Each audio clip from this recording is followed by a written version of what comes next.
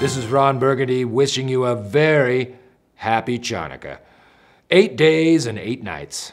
The Festival of Lights. I haven't partied this hard since Mardi Gras with Wilt Chamberlain. he was a Jew, too.